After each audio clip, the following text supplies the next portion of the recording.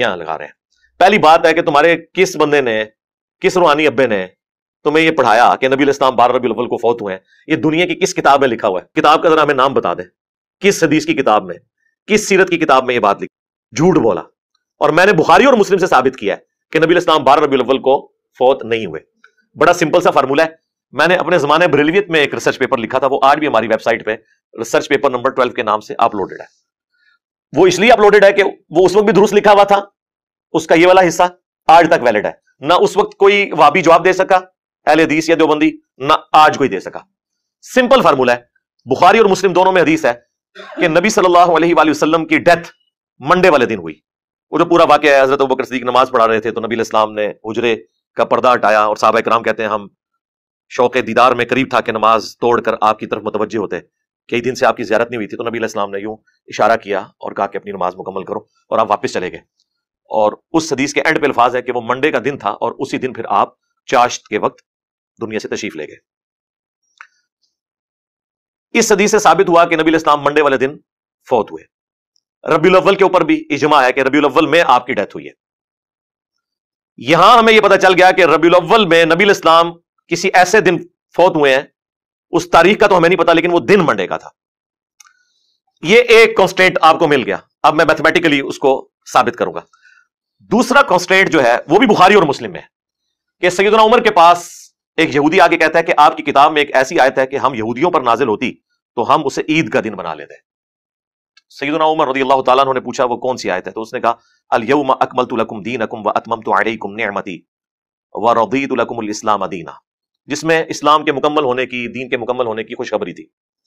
आज के दिन हमने तुम पर तुम्हारा दीन मुकम्मल कर दिया और अपनी नेमत तमाम कर दी और इस्लाम को एज ए रिलीजन तुम्हारे लिए पसंद किया।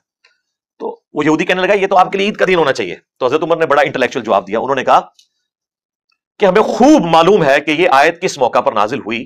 वो योम अरफा ही का दिन था और जुम्मे का दिन था। यानी नौ जुलहिजा जुम्मे का दिन था। नबी इस्लाम अपने पहले और आखिरी हज में थे, दस हिजरी के अंदर।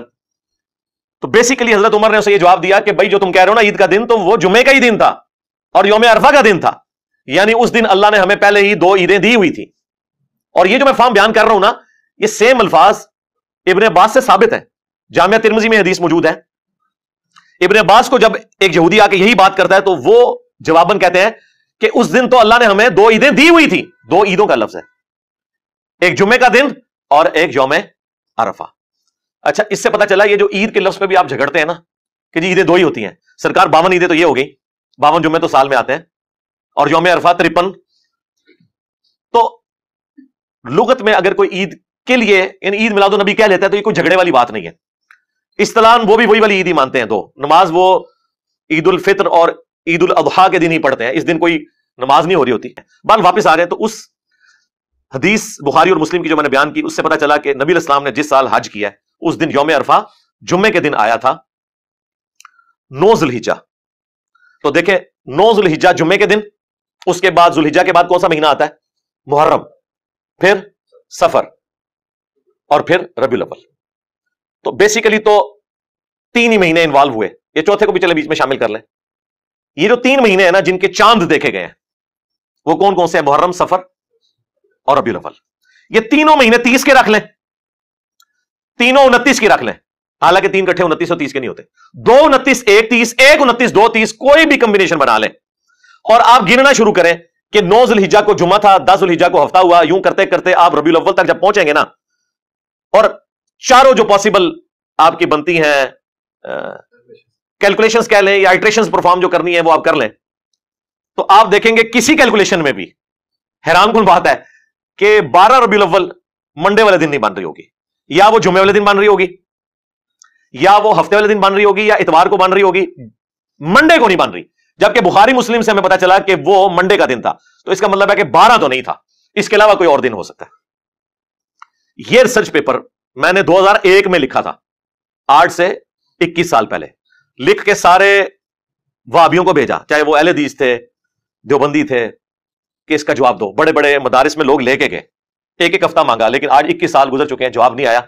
शेख जुबैल इजी साहब से मेरी 2008 में बात हुई तो मुझे कहने लगे, मेरे पास भी आया था। तो मैंने कहा, आप ही जवाब लिख देते। कहते, जवाब क्या लिखते? सही लिखा हुआ था? लेकिन खामोशी इख्तियार कर ली। होना तो चाहिए था कि अगर सही लिखा था तो कहते कि ठीक लिखा हुआ है।